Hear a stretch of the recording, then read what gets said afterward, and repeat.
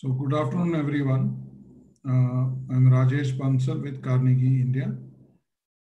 I just uh, we'll just wait for a minute uh, for our audience to join in, and I should also say good morning for some people. I think some people are joining from Africa, some time zones. So good morning and good afternoon, and possibly good evening to some people.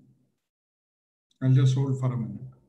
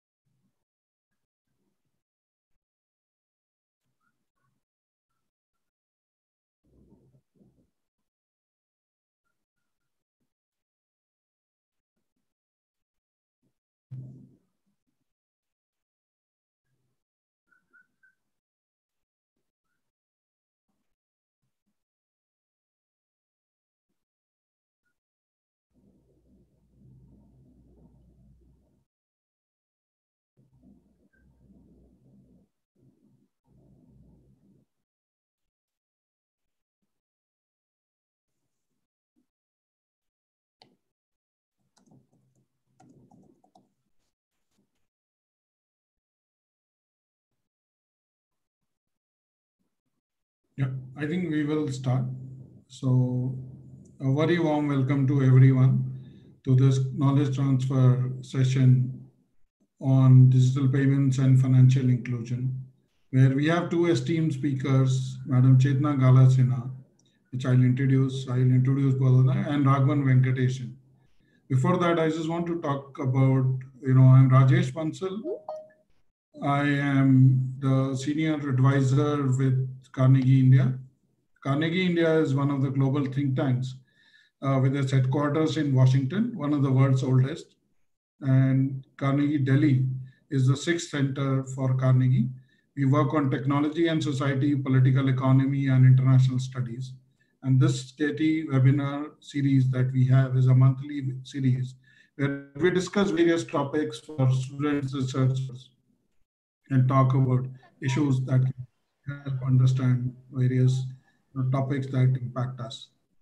So with this, uh, I would request my colleague to play a one minute video of Chetna, madam, please.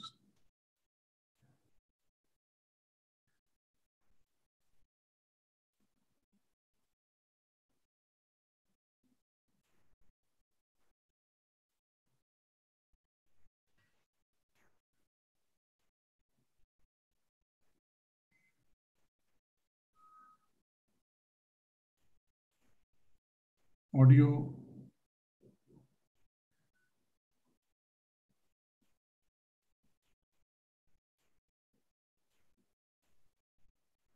digital banking. Digital banking required to remember.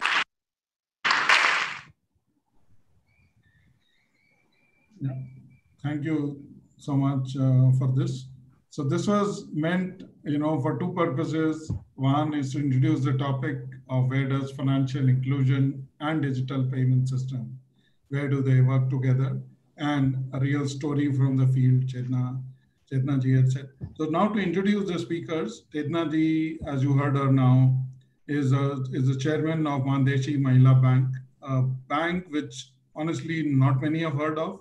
I mean, I have heard of and met her a number of times. I know the good work that she's been doing, because she's been doing that quietly in the field in rural Maharashtra. Uh, and she has been, you know, acclaimed as one of the most important women in empowering the tribal women in Satara and Kolhapur. She will talk to us more about what is happening out there and where do we go. And we have Raghavan Venkatesan, who's the co- who's the founder of DGV, DigiVriddhi. Uh, he has had an interesting career being at National Payments Corporation of India, you know, the India's payment company. Then he has worked at Axis Bank, IDFC Bank, and at IDFC Bank, he built India's Bharat Banking, the most profitable rural banking business as we can know it. So he'll talk to us more about it. So to start the conversation, uh, can I ask Raghavan, could you sp- tell us a bit more about, you know, what has been India's journey over the last 10 to 15 years in financial inclusion so that everybody, all the audience, every attendee is on the same page. And then we can talk about current issues and then go into future challenges. Thank you, Rajesh. Uh, a very good afternoon to everybody um, here in India. And as Rajesh says, people are joining from Africa. So good morning and good evening as well. Uh, so India has had a very interesting journey over the last, I would say, 15 years. I think it all started in 2006 when the regulator, Reserve Bank of India, took the first leap forward and came up with this business correspondent guidelines to help banks think beyond the traditional brick and mortar. Uh, so between 2006 and 2010, we had a period of where uh, largely the solutions were offline, um, had smart card uh, technology, it was proprietary, and it was all very hardwired. So basically, a customer of the bank could only use the access infrastructure of that particular bank. Think of it like how we used to, how we are used to using ATMs. I mean, when we were using ATMs, uh, almost uh, right from the beginning, we were allowed to use each other's ATM. But mm-hmm. that concept had not yet percolated uh, in the Bharat side. But it was a very, very good beginning. I think that was the start and it started in Andhra Pradesh, where the first set of uh, National Rural Employment Guarantee Scheme uh, payments had to be done uh, using this branchless banking methodology. Uh, sometime in 2010, uh, 2011, when NPCI, actually NPCI started, came into being in 2009, and Rajesh, uh, you know, needs no introduction. He's also a very a big name in what India has achieved on the India Stack side. Uh, fortunately, NPCI and UIDAI coincided at the same time. And uh, I would say it was India's good luck that Nandan was the chairman of UIDAI and Narayan Murthy was the chairman of NPCI. So they both had worked together and there was a meeting of minds. So it helped uh, NPCI and UIDAI collaborate between 2010 to 2013 to build up what today, I mean, we just saw Chetnaji's video uh, leveraging the fingerprint, was that we started working on standards so that mm-hmm. things can move from a proprietary technology to an interoperable framework. I think that's where NPCI and UIDAI, when they when they came together, it was a fantastic uh, phenomenon and uh, we could uh, conceive what is today is the world's largest interoperable biometric payments network. Okay. Today, um, Rajesh, we will all be very proud that AEPS, Aadhaar Enabled Payment System, is the second fastest growing payment system in the country. Not many people think beyond UPI, but UPI actually has only 105 million unique users but whereas AEPS with 400 million transactions a month is having close to about 200 million users. Yeah. So I'll stop you here for a minute because I'll come to digital payments options that exist in India and the challenges. Right. Before that, the point you're making is that prior to 2010, it was an offline, you know, proprietary FI 1.0, if we can call it.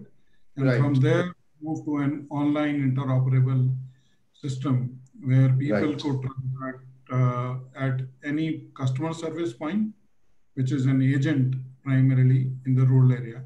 And that is what has been transformation in India. That has been because you have you have not it's not hardwired anymore. It's like it's interoperable. It opens more revenues. You can service all the customers in the catchment area. You're right, Rajesh. Okay, thanks. So there has been an interesting journey India's had, and and as we are aware, just to add to that journey, is that uh, I can proudly say that India's 2014 PM Jan Dhan Yojana was the first time a head of state really took upon themselves to say that financial inclusion is the critical agenda for the country.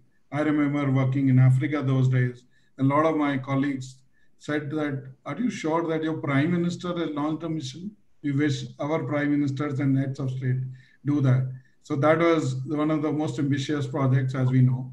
And we'll talk more about, you know, the challenges, despite the fact we have 400 million. And before we go there, Chetnaji, you have had 35 years in rural Maharashtra. And I would say, uh, you know, you are closest to the ground. Uh, and unlike policymakers, some of us, you know, I wear, I wore that hat once upon a time, who would be, you know, would not know what's happening in the field. So tell us in your view, from when you started the Mahila Cooperative Bank to today, what are the key things in financial inclusion that you have seen that they have changed? So thanks, Rajesh, and thanks to see you in this role. I've always seen you, Reserve Bank of India, Aadhaar, and now Think Tank. So mm-hmm. thanks for inviting me uh, for this and uh, would like to share. So the one thing which uh, I feel like, you know, every time we talk about India, India's um, uh, majority population is staying in rural India. We talk about Bharat, and then we talk about inclusion. And I would just like to share that three decades, I have learned a lot from the people. And how I have learned, I would also, as you show, saw on the video also, and I would just like to share that I never thought I'll start a Mahila bank or a women's cooperative bank. But women came and they said that we want to do savings. You know, we have presumptions, right? That poor people, they will always talk about credit. But here, women were saying that we want to do savings, small amounts of savings, and banks are not opening the account. So I felt that it's not that poor people always want money. Poor people want opportunity, right? That is the whole thing. And how do you create those? That is one. And second, when you give the opportunity, how they can use it. So you have to think in the mindset of them that, you know, it's not that you are going to decide what should be given. Let me give you another example that when we started bank and when uh, we started that women couldn't come to the bank we started a doorstep banking and we started uh, giving them the boxes that women will save in the box so that because they have a very less wages or in daily income and uh, when the box get full bank will transfer the amount mm. but when you know within 8 days uh, one lady came with a broken box and she was really upset. And she was like, What have you done? What is this? Whose stupid idea is this? And I said, Mine. And you know what she said? That before your bank representative comes, my box was broken by my family members and they took away my hard earned money. And mm-hmm. she said, Who is responsible for that? And I felt her question was right. That when you uh, when you start anything for the consumer, for women, for people, for financial inclusion, you are responsible for either it is her savings or it is credit that because all these opportunities which they are going to use they should have control on that. They should that should give us give them a decision making power. Unless you think those issues and you have to and she made me think that that it's not an access to financial access to finances it's not access to banking it's control on finance. It's control on banking. It's control on my production. So i feel that whenever we talk of financial inclusion you have to think in that way and that's why you know and then when you talked about Jan Dhan also right? Yes Jan Dhan is a was uh, or is still there and many people are using i mean accounts have been opened but Jan Dhan itself has a very big uh, strong component and that is overdraft facility of Jan Dhan right? And in that if i go to my bank in my area in satara district i find not even 1% of women or 1% of account holders are using the overdraft facility of Jan Dhan there the question i would say that the effort actually makes lose the spirit because the whole effort is that people should transact people should use the money it should increase their wealth and increase their power right And so, in that, I think that it is very important that when we talk about financial inclusion, it should not be just technology, it should not be just product and processes, but it should be the humans who are behind that and make sure that are we making their lives easier. Yeah, no, thank, thanks, Chetnaji, for this introductory remarks. So before I go on to the next question, I would just like to request the audience that there is a Q&A you know box uh, icon uh, in the bottom. You can please post your questions Q&A. And unlike you know some other webinars, we don't want to take it in the end. I will try my best to weave it into the question that I ask uh, our esteemed speakers. So please feel free to post your questions. And those who are on YouTube, uh, my colleagues are taking care of the questions and uh, you know will be passed on to me, and I'll ask those questions to the speaker. So Chetnaji, if I can continue with one more important point, you said that it's uh, the general myth is that the poor need access to finance to be able to get credit. So tell me, you know, I also know about, uh, you know, that it seems you had an interesting story. Just a small anecdote would be interesting for the audience on how you got the license for your Mahila bank. I think it'll be interesting for audience to know. It's a long struggle to even get license from regulators? Sure. I mean, I've, I've shared this story like thousand times, and every time I get an opportunity, I like it. So there's no, I mean, yeah. So actually, as I mentioned, uh, that uh, I never thought that I will start I will start a women's bank or a Mahila bank because that was I was working with farmers and farmers organizations and with women particularly in western Maharashtra of Satara district. And in, I was located in a very small place in Mhaswad. And there, a woman who was doing a business of sharpening the weeders, Kantabai, she came to me and she said that I want to do savings. And I said, Kantabai, do you even earn that much of amount of saving that you mm-hmm. want to do, amount of income that you want to do savings? And you know what she said? She insist. She was insistent that I want to. I'm sharpening the readers, I'm doing my business on the street. I'm staying with my family on the street, but I want to buy a tarpaulin sheet because in summer we have around 47 degrees Celsius, which is too hot for my family to stay on the road. And in monsoon, there is rain. So if I buy a tarpaulin sheet, I will be able to protect my family. And for that, I want to do savings.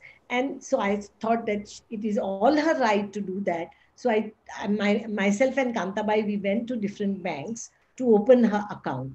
We had three banks at that time. This is, I'm talking about 22 years back. And the banks were not ready to open her account because Kantabai wanted to save less than a half cent a day. Can you hmm. imagine? That you know she wants to save and she was not asking any grant or subsidy from the government. Bank said that hmm. that is a too small amount for my it will not it will not be a viable for my bank. So when branch manager said that i felt that she's not asking for any loan. She's not asking for any subsidy from the government.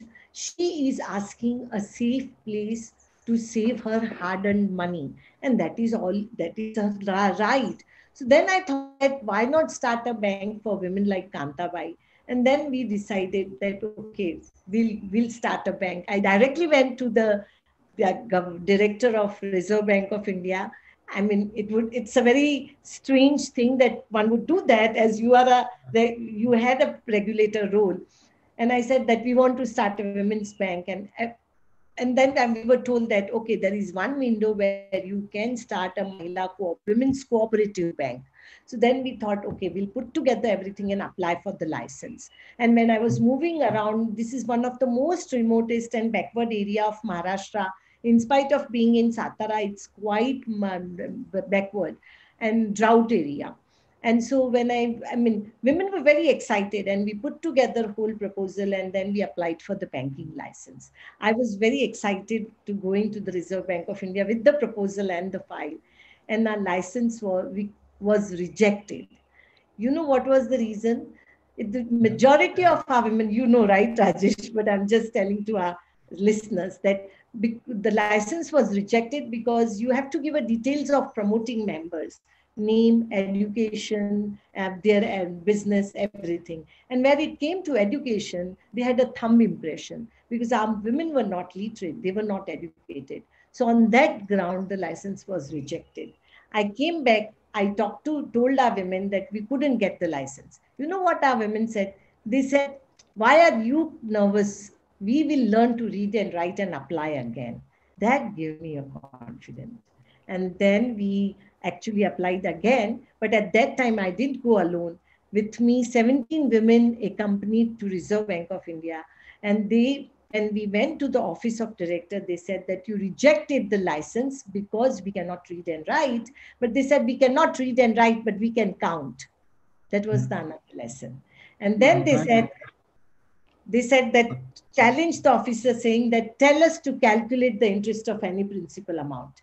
If we fail, don't issue the license. But tell your officers to do it without calculator. We need a computer or a core banking, but we can do it. Yeah, so well, this is great. Yeah. Interesting. And you know, as I told you, I heard that story, but I was keen that our audience knows that it has been an interesting journey for the bank, and you've been so closely involved. And Raghavan's experience.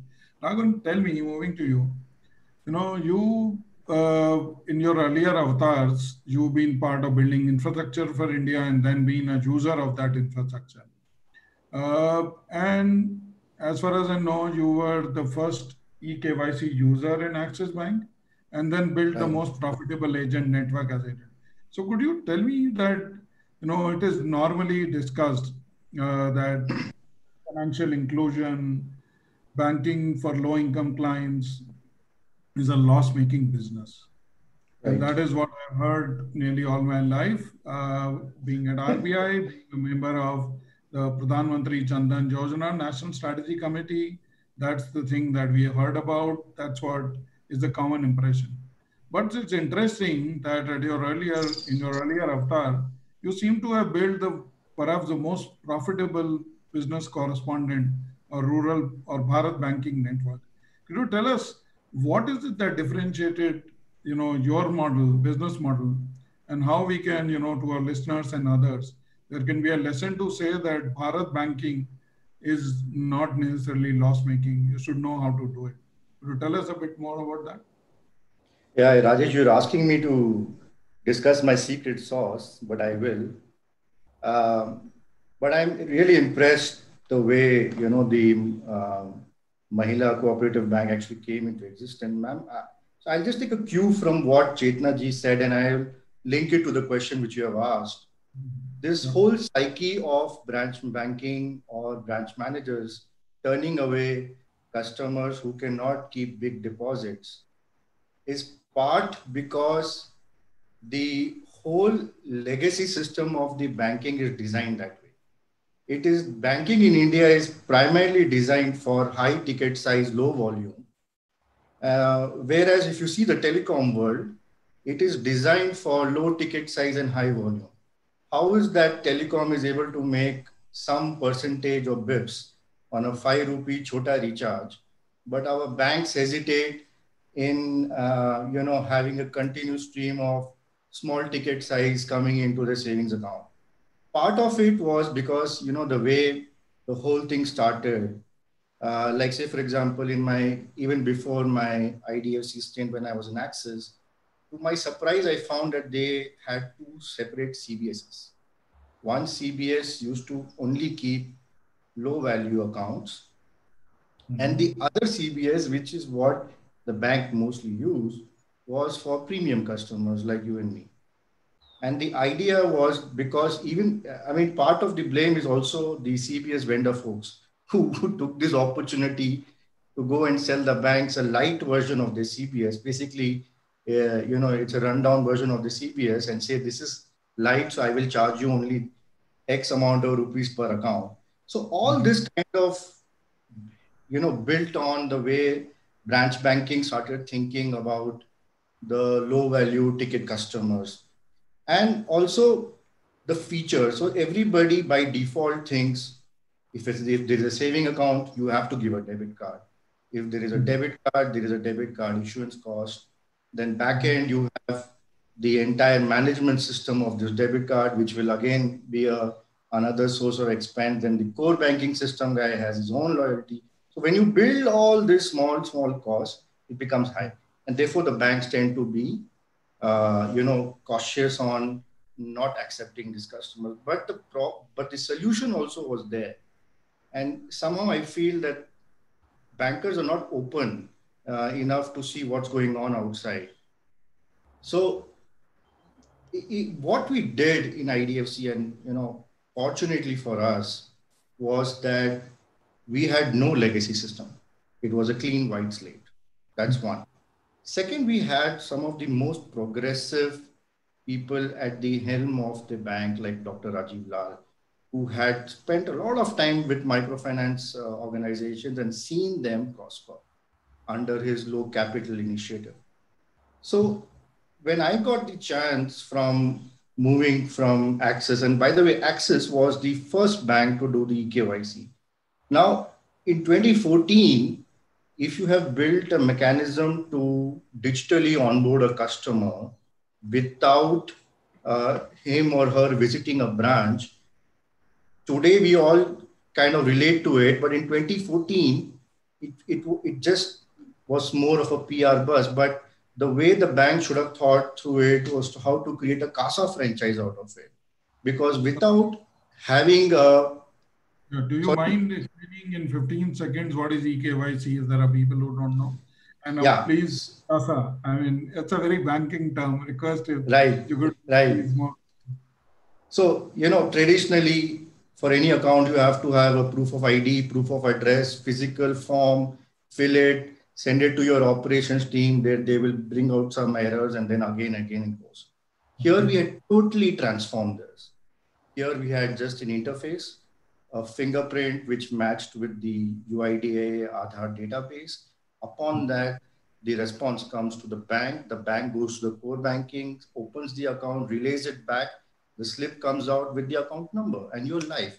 So you're live in less than two minutes. So basically, no ID, no address, your fingerprint uh, is your password, is your access to financial services. At least the opening of account got facilitated. And I'm, I was just wondering if Kantabai had that uh, eKYC at that time, uh, we would have been seen a smile on our face. Uh, but it, Rajesh, even though we did it in 2014, even though it was in-house to a bank, banks still could not see that this is the new way of building a liability branch bank a liability uh, franchise without having a brick and mortar approach and that's when when i got this opportunity in idfc and anyway at that time we were one of the two licenses to get a universal bank license. We were able to architect the bank around the india stack we were able to leverage every facet of it. We were we had uh, you know what's more evident if a regulator tells you that 25% of your branches has to come in rural areas where there is no other bank there so that means that the reserve bank wanted banks to open so banks naturally did not go to those rural areas for because of the economics that's why they had to create a licensing condition to nudge the banks to do that Instead, if you flip it and if you use the India stack and what uh, you know, you can, uh, there is a small video which we can play to for the audience to relate to this subject. Is that if you are able to create a platform which allows the origination, the customer acquisition with with very minimalistic intervention, and then you build all kinds of basic banking services on the same infrastructure without a brick and mortar approach, then you have solved for at least the access and the service side uh, issues, um, which the branch banking tends to uh, not get aligned. So I think uh, the audience will be uh, able to relate to this if we are able to play that small video. Okay, sure.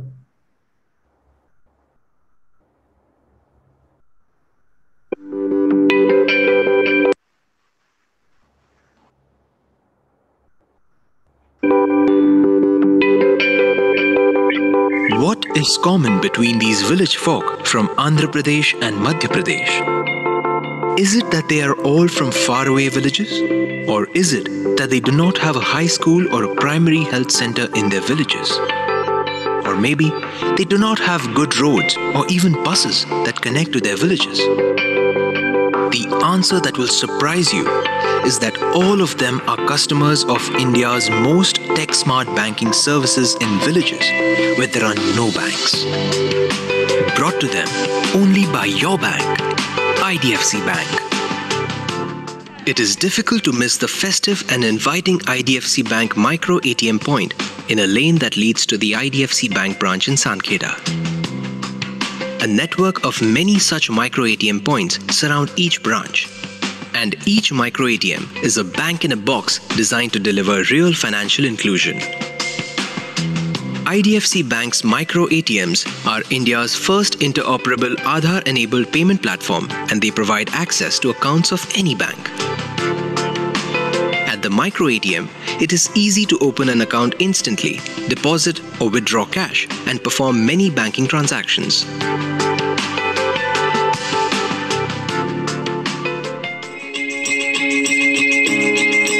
Nearly a thousand kilometers to the southeast in Andhra Pradesh, further east of Vijayawada, lies Royyuru. IDFC Bank's robust tech infrastructure of micro ATMs is being put to use here in a novel initiative with the government in disbursing pensions, scholarships, and other direct benefit transfers, bringing them right to the beneficiary's doorstep. It is the first week of the month, and many villagers are making a beeline towards the thatched palm roofed house. Sitting at a table in the yard is Pujita Matrapu, a smart young lady who the villagers happily refer to now as the Gramalakshmi. On the table sits a very sleek tablet device in its dock. Pujita soon has things underway. A few clicks on the screen, and she has pulled up the account details of 75 year old Savitri Amma. She scans through the pension booklet and then scans the fingerprint of Savitraka. In no time at all, thanks to the efficient micro ATM machine, she hands over the money and the receipt to a happy Akka. ఈ అమ్మాయి మా function డబ్బులు మా ఇంటికి తీసుకొచ్చి మాకు అందజేస్తుంది micro ATM ద్వారా అందువల్ల మాకు చాలా చాలా సంతోషంగా ఉంది బ్యాంకు మా ఇంటి పక్కకు వచ్చింది చాలా ఆనందంగా ఉంది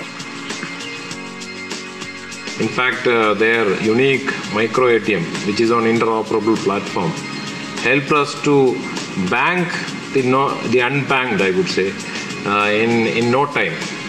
We could uh, crisscross around 43 banks using the IDFC's platform, and uh, here it's like bank reaching the uh, poor man's door. And he can do all kinds of transactions. Perhaps those transactions which could not be done in a brick and mortar ATM can also be done through a micro ATM. IDFC Bank has also innovated the unique cashless Aadhaar enabled PDS facility along with the Andhra Pradesh government. Now, people here enjoy the facility of buying their rations through a cashless transaction. 91 year old Sita Mahalakshmi, for one, is overjoyed. Using the online POS machine, money is transferred from her pension account directly to the PDS shop owner's account. She no longer has to withdraw cash or carry it to the PDS shop or make sure she has received the correct change. Now it is all quick and cashless. Thank you so much. I hope uh, all of you liked it. And uh, with with due regard that there was no intention to advertise IDFC Bank, but that is the best film that we all recommended. Even Raghavan suggested so for the audience. Disclaimer. Yeah.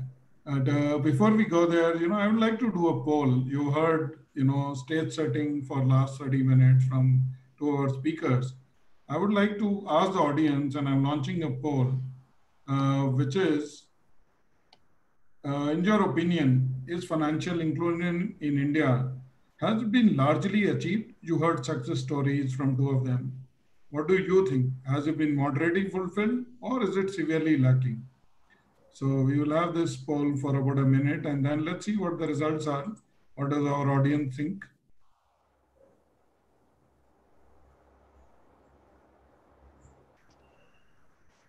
Feel free to take an extreme stance either ways, because I can see more and more people taking saying moderately fulfilled. I see a lot of optimism also, largely fulfilled. So I'll end the polling in uh, next 10 seconds. Uh, anybody else wants to vote, please do.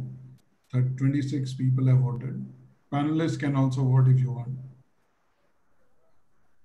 But if you want to recuse yourself, that's fine. So I'll end the polling. Okay, share results. So it's an interesting, as all of you can see, that 19% of our respondents, five of them feel that has been largely achieved, but more than 50% feel that it is moderately fulfilled. And I'm not supposed to take positions, but my personal view is also that it is moderately fulfilled. And although interestingly, 27% feel it is severely lacking.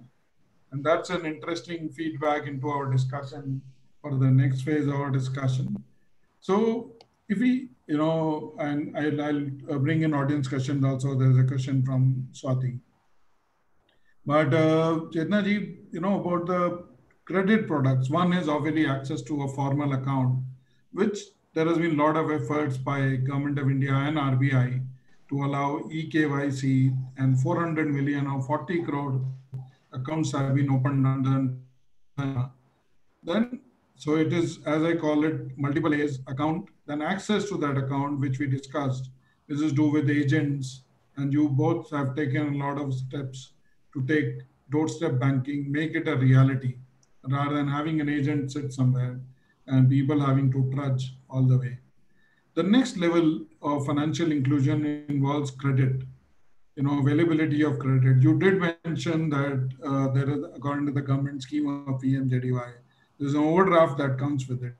But what I know is that Mann Deshi came out with interesting credit products in the recent years, and it has been quite successful. Do you want to talk a bit about what made you build different products? And as Raghavan said, instead of it being the same car loan product or the same retail loan product that I am offered or somebody in Mumbai is offered, the same being offered in Satara would not work right. So could you tell us how you developed the product, what the product is about? Sure. So actually, uh, how in generally, as Raghavan also mentioned, that when you are in a banking system, then you would always want to like, you know, take a, uh, even if you take a risk, that risk uh, is more of an I mean, which is which has a like standardized process and everything. So with Mann Deshi, what we were doing is that we had a doorstep banking, doorstep savings, and then if women wants loan, they can take the loan and uh, repay it or form the groups, SHG groups, self-help groups of women where women become a peer pressure and a guarantor, joint liability group where women takes a responsibility of repayment. Now, when we were doing that, and Mann Deshi has lot of street vendors as the client, women vendors as the client. And we also have our intense operation in weekly markets. In India, we have these weekly markets, which takes place in rural India every week, where people do their weekly buying and selling at one place on same day um, in once in a week. And a lot of our women do business of selling the vegetables, fruits, grocery in these weekly market. Mm -hmm. So I was actually moving around in a weekly market and one of our women who is saving with Mann Deshi, I saw that that lady was taking loan, Lakshmi, who was taking loan from money lender. Now I felt that, you know, this lady who knows who saves with Mann Deshi, which who gets interest and ES, but she's taking, in spite of our, we do have a credit product also, which she knows. And in spite of that, she's taking loan from money lender and paying that high interest. So I just like tried to advise her that, you know, you know that, that do you know how much interest are you paying to the money lender? Because I saw her saying that I've I have taken a thousand rupees loan and every day till I pay my principal amount, I will pay only interest 10 rupees. So I was like, I told her that, do you know how much are you paying the interest? And it's like 120%. Uh, so annually. So then she said that, you know what, that uh, I know that. And then she said that, you know, and, and she said, I know I'm paying a very high interest, I know you have a bank account, a bank product of joint liability and uh, SHG group, but I want to, if I take loan in the morning and whatever amount I want to repay in the evening, money lender do, does that. That if I want, before going home, whatever I have collected, some amount I would like to repay my loan. I don't want to sleep with that burden or keep my money at the home. And so I felt like, okay, so you can also pay the repayment in the installment with Mann Deshi Bank. She said, no, I want this facility whenever I want, wherever I want, and moneylender gives me that facility. And the mm-hmm. lesson I learned from her was that, you know, when you design a product, you listen to the client. Don't try to impose your product and processes also that you want her to come somewhere to repay and all that. And so then what we did was that we did a digital diaries with these weekly market vendors. That you know what if what is from how what how is money going coming and going. And then we also did the digital diaries with some of the money lenders also taking into them a confidence that you know we would like to understand. Yeah, it was a very different uh, uh, experience, Rajesh. I would say, like, because it was like you are seeing that how people, poor people are transacting, right? With and that is where I think bankers need to learn that how the money of poor people go, and it's not just like it goes from their pocket or not. Even their locations changes, right? So that when we saw that, and then we realized that you know we need to design the product. So we did a cash credit product for these women based on their working capital cash flows. And so that they can take the loan repay it then again take the loan repay it. That's what the Jan Dhan also has that you take a cash credit and repay it according to your cash flow.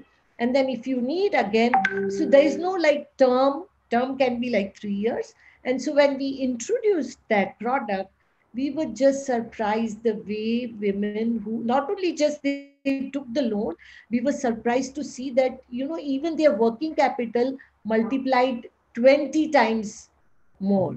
And then we compared those digital diaries and their bank statements and showed to them that how how much interest are you saving because what you are paying to money lenders and that actually i would just like to say that we normally presume that people don't know but here this this woman she questioned me about my knowledge right?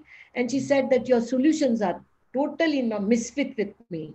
I think that that it, she gave me that boldness to listen to her say that yes my, my it was my mistake.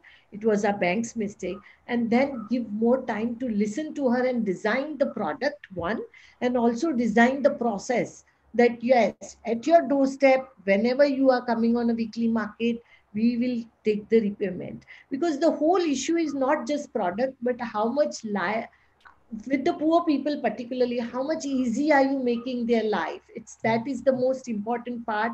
That was the learning that money lender was not she didn't mind paying high interest because money lender was making her life less complicated right so i Sorry. So I would just say that lessons I learn is that make the lives of poor people easy. They will always listen to you. Unless you don't do that, I think it will not work. And with that product, weekly market cash credit product, I would say that if we take to that product uh, scale, in India, we have 70,000 weekly market and in each market at least 2000 street vendors sit and do business right? So we can calculate the numbers that how many people we can impact their working capital. And if their working capital grows 20 times how many millions this and their business will scale. So that i would Chetna ji, that you build a credit product which was built on cash flows, uh, which the digital lenders of today are doing, right? And with automated system. So it has been obviously an interesting journey. And as you said, their working capital needs grew 20 times, which is obviously goes on to show that their livelihoods improve.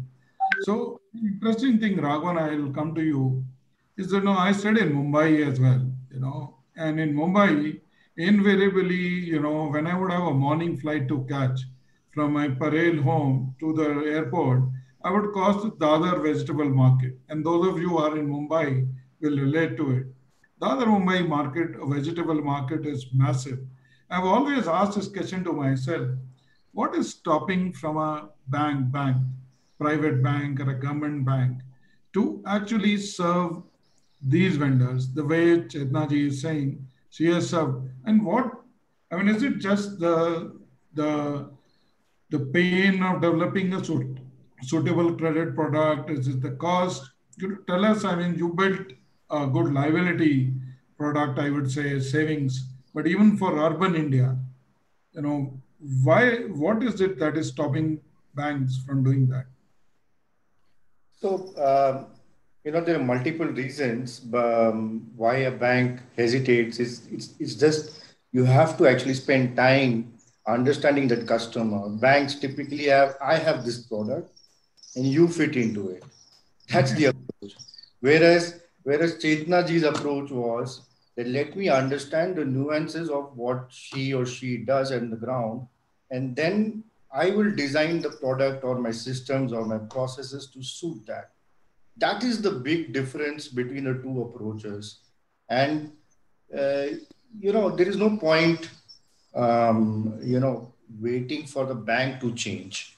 Um, I think uh, the, the, the, the, simplest way of how this can be uh, mobilized at a larger scale, like the example she, she just mentioned about 70,000 weekly haats.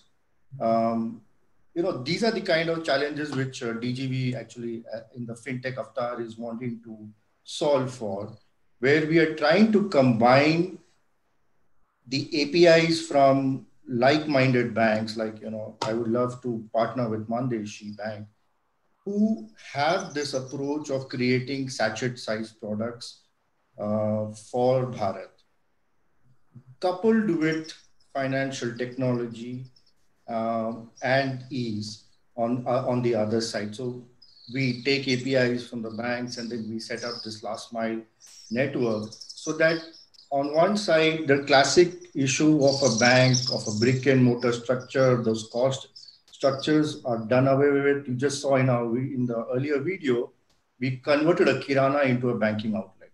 Rajesh, will be happy that the Reserve Bank actually over the last four years has been seeing this new sort of banking evolve.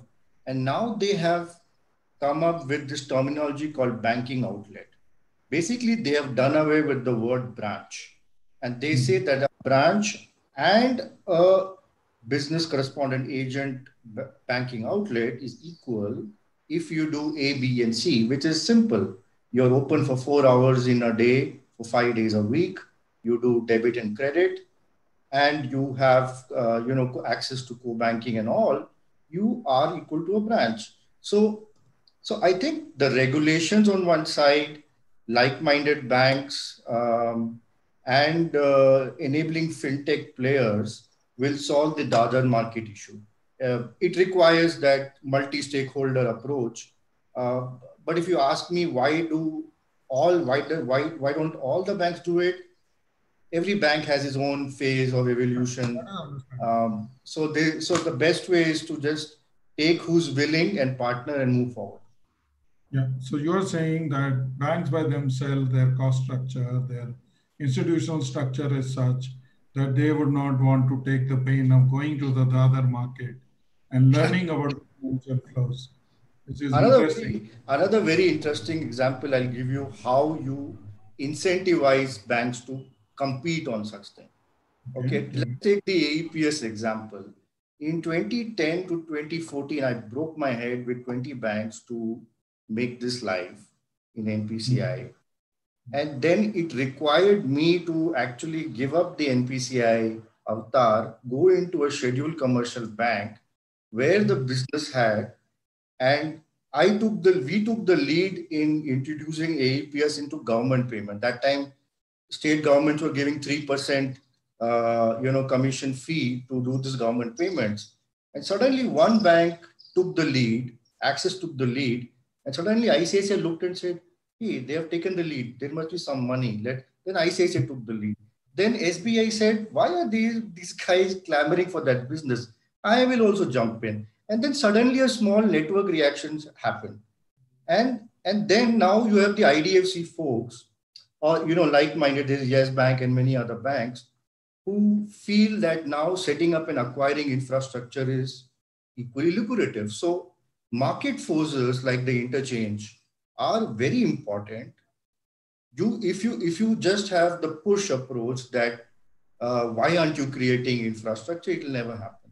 But if you create market-induced uh, incentives for players to come and naturally develop, it has a multiplier effect. That, that's great. So I, I thought this is an interesting time at which, you know, let's ask the audience. Sorry, this is and polling. You mentioned that, you know, let, us look at what the audience says before I go on to the credit and who needs to take a lead. You mentioned fintechs. So uh, audience are requested to answer which are the following stakeholders will lead the next phase of financial inclusion in India? Is it should it be the RBI or the government of India? Should it be fintechs or will it be banks? Let's see what the audience says. Raghavan, you seem to be, you know, the audience seem to be with you that it's the fintechs are the future of finance in India. Uh, let's wait for a few seconds.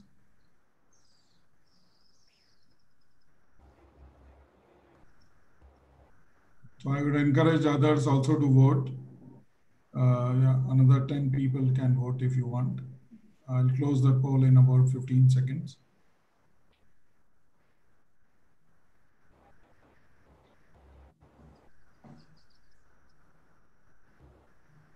Okay, let's let's close the poll, end the polling, and let's look at the results.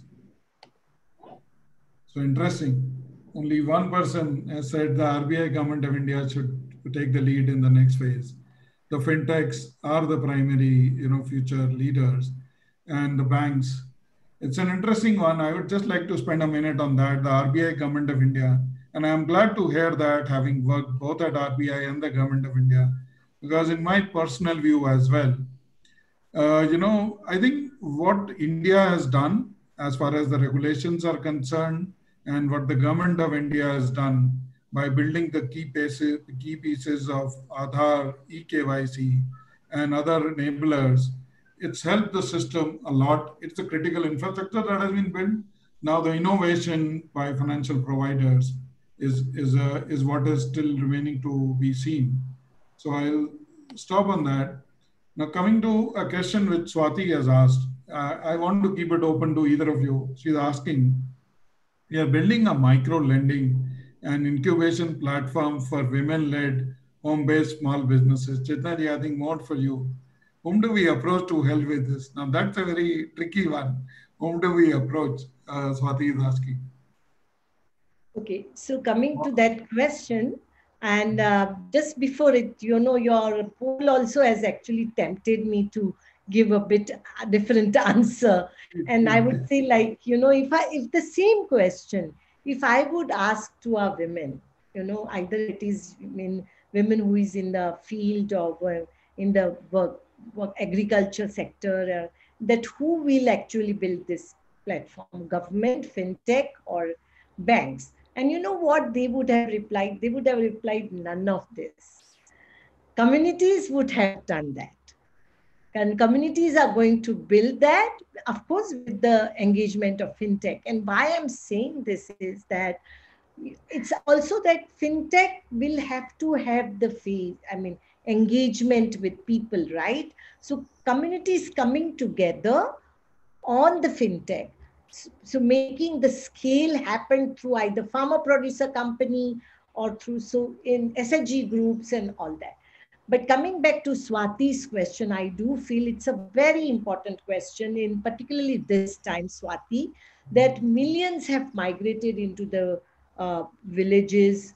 Uh, lockdown is there, COVID is there, and majority of the household, in particularly rural India, we are seeing have been taken over by women-led businesses. You know either it is livestock either it is vegetable vending either it is and all these businesses there are two three things. I would just like to share with you that how these women are operating and you know in this and it's not only just when women led businesses are there what are the challenges which are there? Number one women do not have collateral. Number two women do not have an ecosystem which men have. They're like if men wants to start a business the whole family will say like oh go ahead. Even if there is a losses there is no issue. But if women wants to start they will say be careful. If there is a hmm. loss here is the door. You will have to hmm. leave the house so they take they have so much of these challenges which is finance second is mobility third is capacity building. All these are major things are there.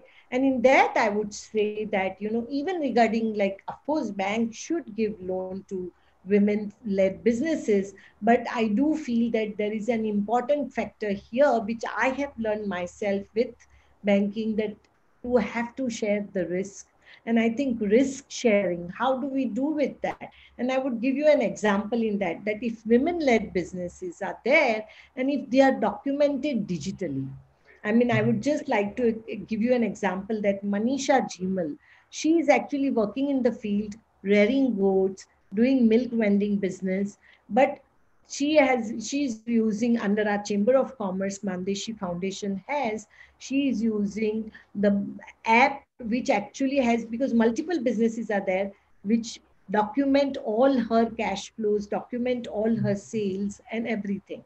Now, when she has that all the data, then it happens that if she goes to the bank, she would actually be able to prove that what is her cash flow, what is her working capital, how much is she earning. That is one which I would say that women led businesses would require this type of ecosystem. And with Manisha, who is rearing sheep and goats, vending milk, she actually does all that. But not only that, with that app, she sends her bill to her client every day that today I have given you two liters of milk. This is the cost. This is you have to pay after 30 days. And after 30 mm-hmm. days, she sends the bill digitally, staying in a very small village. And she sends the bill digitally and then tells him that you have to pay my milk money. And he pays through the uh, Google Pay or whatever UPI platform, which means that she's not only managing her data, Manisha is not only managing her data, her accounts, but she's also sourcing her money digitally. I yeah. think in women led business, and of course, Raghavan will agree with me that one side the banks are there, but you need that whole ecosystem which we have to create digitally, which these people are very, Manisha, like other women, are very smart to use it. That even in this lockdown, she's paying her seed money which is required in her agriculture field by doing digital transaction. She is not uh, getting a salary on her uh, amount transferred to her account, but she herself is creating a digital source. So I would just like to answer Swati that, you know, these are the ecosystem where we have to create digitally with women-led businesses. They would require a handholding and they are ready to learn they are smart enough to engage with you. And as Raghavan, you mentioned that these are the people who will show the way to the banks that how do you keep your, you know, as the tel, tel, telecom industry has created those sachets, these people will explain. And so I would say that you know, women like Manisha Jimal are my teachers to take this digital India forward. Thank, thank Chetnaji. So Swati, if I can add my two cents to this, you know, I'm taking the liberty, having spent about 27 years in this field, uh, is that as Chetnaji had earlier also mentioned, for the critical success is listen to the women, what they need. Go and sit with the women to understand what their credit flows are. And in the today's digital environment, it will be so much easier. So that is what I can say. So answer is, whom do we approach? we are all there. I mean, I'm sure I'm taking liberty that Chetna ji, myself, Raghavan, any of us can definitely be of help and would love to contribute. So, I, uh, Rajesh, I, Rajesh, just just one input I would like to give. I mean, Manisha is an exceptional case, but when we are building for Bharat, so today the whole lending philosophy is based on data and data, if it's available in the form like how Manisha is generating, and if there is a bank who can consume that data and make sense, both are required. But what about 85% of the transactions which are happening on cash? So until unless platforms are agnostic and are able to also record cash and digital payments in a seamless way, then the small micro enterprise businesses in Bharat will be in a better position to leverage their entire working flow, work, uh, you know, working capital. Um, uh, that is one. The second is that with this data, how do you convince a lender, an NBFC or a bank, to give you loan on based on that? So where is that interface with a digital diary can be consumed? I, I'm, I'm like, I'm just trying to think of what system in a bank will actually accept that data until unless it's a host to host integration. If she goes to branch, the branch manager will be like, wow, what is this gizmo? But he will not be in a position, he will say, I still want the paper and I want it in a certain format and I want you to fill this form and I want you to get your KYC and more proofs and more collateral and this and that. You just complicate. Interviewer, so maybe it's a good time to segue into. There is another question by Banani, but uh, maybe I'll just uh, will will answer it very briefly, uh, and then go on to what Raghavan said about establishing digital footprint and and how do I present my data. So account aggregator platforms have been built. The India Stack story exists, and we have a short film, two minute film, to explain that. But before that, uh, on Banani's question, that I am an entrepreneur, I work with women. Uh, Bhartiya Mahila Bank, as we all know, was launched in, I think, 2013 or 12, 2013. But unfortunately, it was closed down and it's been merged. So, other special credit products available, Chetnaji. Yeah, so I mean, uh, Bhartiya Mahila Bank was merged with State Bank of India though, though they did have in some of the areas of northeast i have seen that they were addressing the um, uh, credit product with the self-help groups and all but now the Bhartiya Mahila Bank itself is merged with State Bank of India. And now that whole part is addressed by them. That is uh, you know providing these uh, having appointing the women uh, business correspondents. We just had a meeting today afternoon with the state bank of india team and have been discussing that can we have these women business correspondents so that they can address more number of women into these as the we had seen the business correspondence of idfc so we i mean that was but actually at present, Bhartiya Mahila Bank itself is no more now a separate entity. That is the answer to the question. Banani, just to add one more point is I think, if I remember, there's a Bhartiya Mahila Kosh that has been set up. So there are particular incentive schemes available for women entrepreneurs. And I'm sure on the even the RBI website, you'll be able to find some uh, Q&A on that.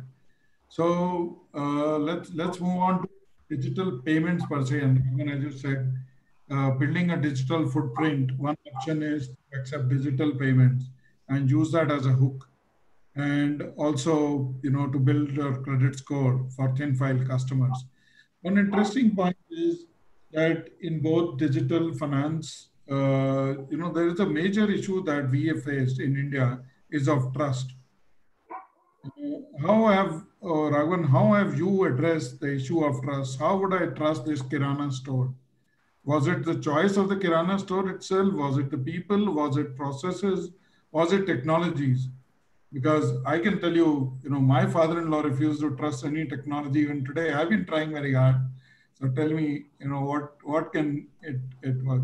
No, it was a very big. it was a learning phase, and we kept learning like how what our customers felt uh, was trustworthy point to bank with?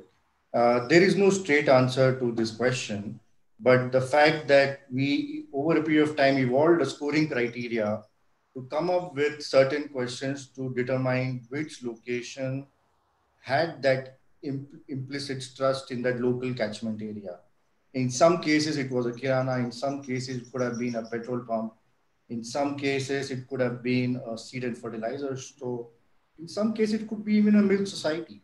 So we we had to be our our platform and our approach had to be open to all mm, uh, you know categories of micro enterprises to leverage. And second, of course, the whole aspect of uh, enabling these banking services, the basic raw material is actually cash, cash Mhm. and connectivity. Now, these two are required for you to function in a uh, you know continuous manner. Usually, we saw that most of the withdrawals, most of the transactions were on the withdrawal side, and there were very little deposits happening. So our main focus was how can we create a netting environment so that certain people come and deposit and certain people come and withdraw and that cycle keeps moving so i think th- there is a lot of lot to do with the liquidity management at the lowest level which is which is the which is which has to be really perfected. Uh, once that happens then automatically the the trust builds in that point. Uh, you know, we have seen certain instances where, uh, you know, um, in night 10 o'clock, he has knocked the house of our agent and taken the money and for his medical emergency. And then, you know, he started saving with that point uh, regularly. The other fact is that why should everyone bank with you? So the again the interoperability helps. So if you had AEPS offers deposit, which allowed you to use X bank interface but deposit in Y bank without a charge. That was a very big enabler in catapulting savings. That trust slowly forms in. So there are multiple things. Started with the scoring criteria, which actually evolved over a period of time. Branding. You saw our outlet was very branded. So it involves cost, but if you start thinking, oh, this is you know, from day zero, it should make money. It's never going to be the case. So you must have a certain gestation period, uh, involve the entire branding. You must be very visible. I mean, there must be a grievance redressal mechanism, which is visible to the customer. It should not be some hidden somewhere that it is not, you know, known to the customer. So hmm. the charges, if it all are there, it should be displayed so these are the governance issues which we kind of solved over a period of time, which helped build this trust. Of course, then we kept pushing new and new products on the platform so that the agent was always excited and you know always had something new to offer apart from what what was already being offered. Uh, a combination of all this helped grow um, a successful network I will also say that we were never hung up on the number of points, but we were focusing more on the quality and the throughput per point rather than stating we have X number of points. So um, it, it, mix of many things. So which means obviously, as I can, uh, you know, deduce from your discussion that you mentioned, is that engagement, high engagement, high engagement. Of, of people who are your representatives, your face in the field is is critical. It's critical. Success. Yeah, and and you were not focused on numbers, but focus on quality of the agent, as you can call it, and including you know some some spending with the branding and everything. But it's not easy to build customer trust. And, right. Uh, so there is a question from Deepak Kumar, uh, which is to do with how can the banking frauds be regulated? So Deepak ji, the only thing I will start with is, you know, frauds cannot be regulated. The, the regulators can come out with a framework. Uh, the banks have to build better fraud analytics network, which they have been building.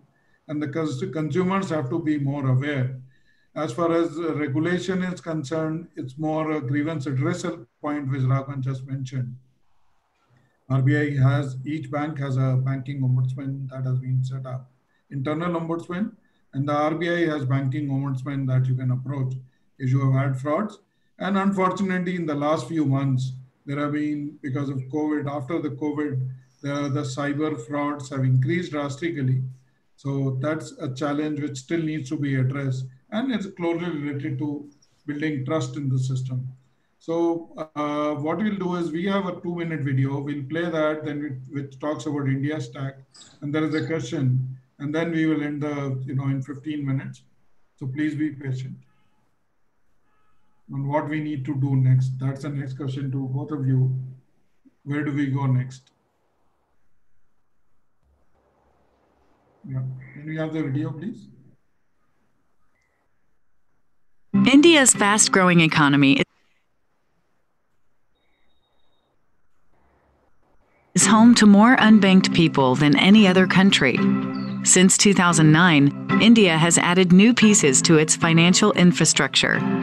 It has built three interconnected layers a biometric identity database, simplified payments addressing, and market wide digital payments interoperability. Together, called India Stack, these new layers have the potential to bring dramatic change. To see how it works, let's meet Seema, a garment worker who migrated to Bangalore from a rural region of Odisha. As a migrant, she does not have a permanent address, and banks often require multiple ID documents to open an account. In 2009, the Indian government created the Unique Identification Authority of India, which has enabled over 1 billion residents, including Seema, to easily obtain an identity number linked to their biometric data. Using only her identity number and biometrics, Seema can now open an account quickly. And the electronic identity allows financial service providers to instantly conduct KYC checks. A second layer of infrastructure allows Seema to link her identification number, phone number, and bank account number under a simplified payments address. This address can be easily shared with her employer to receive her salary digitally. The third layer is a market wide interoperable payments system. Seema can now use her phone to send money instantly to her mother, who has also recently opened an account at a different provider. Her mother can withdraw the funds in rural Odisha using only her ID number and her fingerprints. Two additional layers are being added the digital locker, where people can securely upload digital copies of personal documents, such as academic records, vehicle registrations, or birth certificates. And a new system for e consent, enabling people to selectively share their personal documents and data. These new layers would allow Seema to share her key financial documents to apply for a loan or access other services. Together, the layers form a new national infrastructure connecting business, government, and hundreds of millions of people like Seema to the financial system.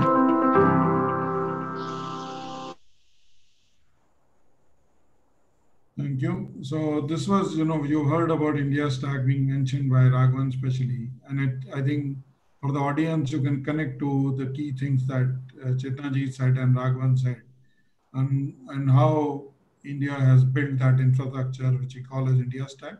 I would just like to add this film is a bit old, but I played it. It's uh, done by the World Bank because it explains beautifully what India Stack is. Digital locker, e-consent, everything is in place. And on top of that, account aggregator framework, where if I'm a vendor and I take digital, I, I take cash payments and I record them digitally, they can then be stored in a common framework and, and through APIs, it can be shared through account aggregators for enabling loan. But a good question which I have, which relates to the future, is, is a question which uh, you know Anya is asking. India has built the digital infrastructure of financial inclusion. Uh, you know, what behavioral changes are required to accomplish a full digital transactions and how do beneficiaries actually end up using uh, India Stack services at scale. So Raghavan, maybe first should I ask you and then Chetnaji? Right.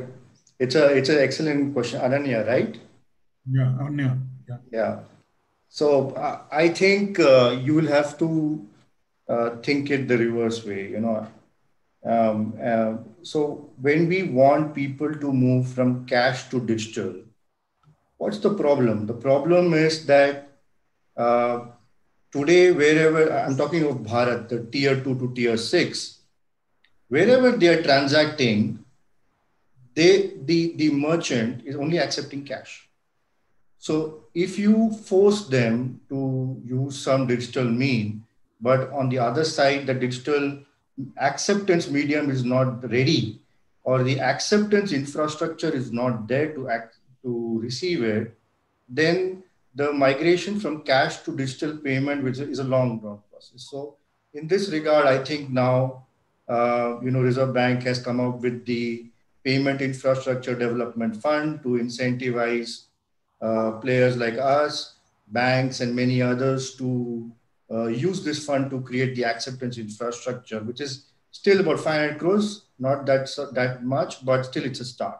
That's one. So one, how do we create low cost acceptance infrastructure?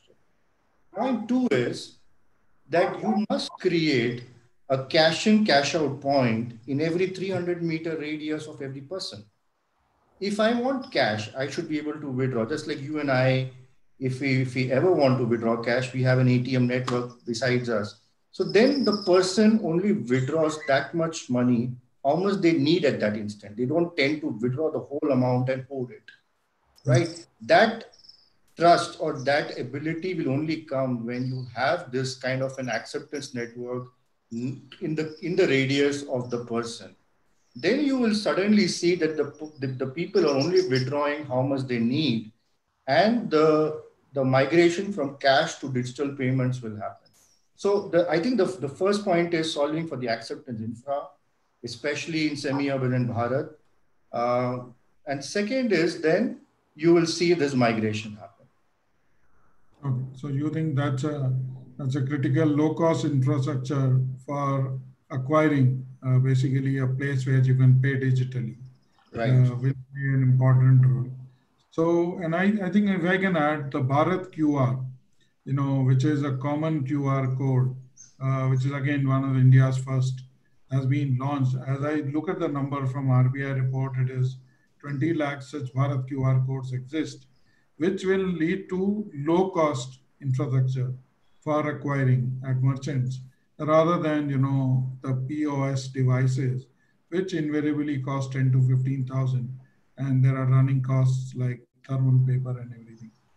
So then tell me, let's say we were to look at, you know, a woman that you serve, what would it take uh, for her to to move to what I can call a fully digital expressway or a full adoption, if I can call it, of India Stack? What are the other challenges that you think should need to be solved? Is it more banker provided? Is it behavioral changes? Is it regulated issues? So let me let me put it this way. I mean, um, it one is that as far as behavioral change you know when will it happen will it happen? Does it because of lack of education that behavior is there? Or there are other issues right? We have to understand that. And i think that the major thing there lies is that in the in the masses or uh, the communities who are on, on the ground on, at the grassroots anything which makes their life easy they are going to adapt it. Why didn't it take for cell phone companies, for smartphones? Did anybody hmm. say that I need a, a phone literacy? Nobody said that, right? Even in villages, women are using all the smartphone and all the apps also in that. So I think it is because the phone is making my life easy. Does not make me to stand in queue, does not make me to wait, does not call me, does not take my time, all that. So I would just say that when if um, we have this one program, Digital Didis, where we want our digital Didis just to understand from women, not just teaching them, but to understand that what are the things which are blocking, right, to do the transaction. And as Raghavan very well put it, that it is when you want to migrate from cash to digital, it has to be on the both the sides. If she doesn't get her income wages in digitally, she won't be able to do digital transaction.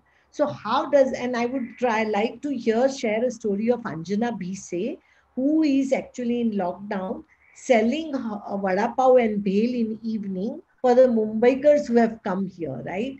And so she created a group on the mobile phone so that she can take the order and give them a doorstep delivery of uh, these snacks.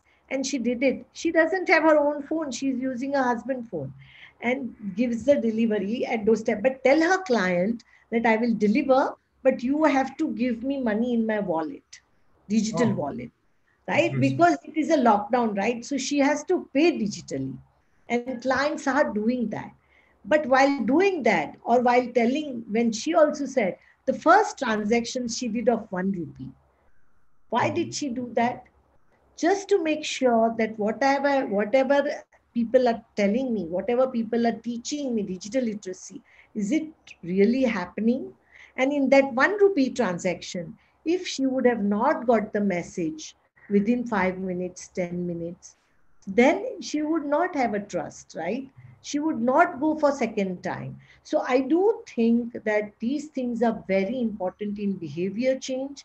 In it's not like you know that trust is going to it trust is tangible. It has to come somewhere, right? So either it if my SMS comes immediately, which means I need a connectivity, as a even if i'm in a remote place i need to have a connect which is there in india now optic fiber cable is coming so i do feel that that immediate messages has to come even if there is some problem as raghavan mentioned that she has there has to be a consumer addressal but i would just say that i mean i'll just tell about anjana bhise that she was smiling and she said that you know for nothing I had to go to the bank and I'm so relieved. Now, can you imagine that when a client or a woman is saying that? Because it's a it's a extra work for a client to go to somewhere, come back, hmm. that time is. So I feel that who will not like to use the handset in and do these things? It will everyone would like, but if you want to do it, you have to digitize every point. So if your dairies are there, dairies have to be digitized. Weekly markets are there, they have to be digitized. When I say they have to, which means the every point buyer, seller. And if the farmer product, and then we are in a very good time. We have like 10,000 farmer producer companies are coming up. If hmm. our fintech company, you know, partner with these organizations, try to make inroads with them who are also going to the farmers I think all these partnerships will be very important. Every time government cannot create those partnerships. And I think we have to work and learn to collaborate. And if we collaborate with these community organizations like Farmer Producer Company, SHGs, and they are smart, they will do the digital transition. We will not even have to tell them. No, thanks, thanks, because I, I do agree with you that, you know, uh, you don't have to teach people. You're solving their pain point. Nobody taught uh, using of a phone to anyone. So that's definitely there. So one last question from my side uh, to Raghavan. Raghavan, and then ma'am, last question will be to you as well. Is what is your, what makes you so optimistic about India's future digital finance? One thing after becoming uh, an entrepreneur, the VC tells me you have to be an eternal optimist. So I am, by definition, an eternal optimist. Um, uh, but besides that, um, you know, the fact that I started enjoying working with semi-urban and rural communities, and uh, I could see that you know I can bring some change uh, by by mixing technology, by mixing certain amount of passion, certain amount of all this together, um, uh, and the elements to do this are present. Uh, so why look out? So so you know I, I completely buy Chetna's point that we should not look at government or anyone's help. Uh, of course, they will come once it becomes a success, and Aadhaar is the example to that that success has many fathers. So, uh, so uh, you know, I the partnerships um, to make this happen. And, and believe me, Bharat is actually a gold mine. You know, this psyche has to change. That if you can build a model which is high volume, low ticket size, you are addressing Bharat. And they are a very sticky customer. Microfinance has time and again proved it. Um, and I'm, I'm, I'm saying that the new, the, the new set of values going to be created in Bharat. So we are very happy to be serving Bharat and understanding it. No, thanks, Raghavan. I wish you all the success in being a social entrepreneur, as we can call it. Uh, and all the best on that. Yadnaji, any words of inspiration for our, you know, some of our attendees are budding fintech who want to work with women entrepreneurs. Uh, any last words you would like to, you know, give them? So I would just like to share again, like, you know, you ask from where do you get the inspiration or optimism? Let me tell you, I have like so many women who are my te- uh, leaders. Uh, Rupali Shinde is our uh, head of the digital program and in Mann Deshi Chamber of Commerce. And um, Rupali Shinde, she has not even completed her 10th standard but she leads that whole digital program. And any problem if i have to do the digital transaction i call her and ask her that rupali how would i do? Or if i'm in shop how would i use that you know qr code and all that? So when you have such people like rupali she goes to azim premji university to speak there and and and these women these women leaders when they become like uh, talented uh, champions of digital that actually gives me the inspiration and you know what they say they say that all these money capital yes it's great but our courage is the capital Hmm. and their courage gives me the optimism Mm, Thank you for these wonderful uh, words. And I suppose our audience who want to serve the low income clients, that's a good enough reason. And so with this optimism, I would like to end the, the session and would like to thank Venkatesh, uh, Raghavan Venkateshan and Chetna ji for their insightful and a very candid discussion. And thank you all the audience for being present with us. Thank you. Bye-bye. thank you Thank you. Bye.